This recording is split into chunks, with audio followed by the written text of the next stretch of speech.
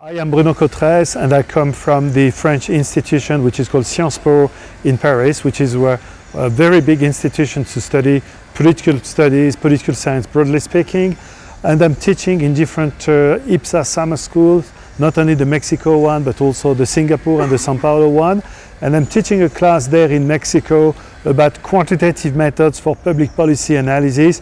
Broadly speaking, it's a class about what type of quantitative methods can you use when you want to do policy evaluation, when you want to analyze what is the impact of a policy shift that at one stage the policy makers or the governments, they are going to do some change.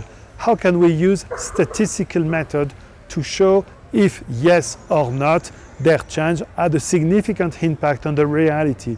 We have a big, big toolbox of super sophisticated quantitative tool to study that. And my class is trying to do so as much simple as possible. We have one week which is introduction to the regression framework. And then in the second week we are going to from from the first week we are going to make much more complex application, the different techniques that we use when we want to run a causal explanation. And you want to say that a change has yes indeed introduce a significant change in the reality. This is basically speaking what the class is about.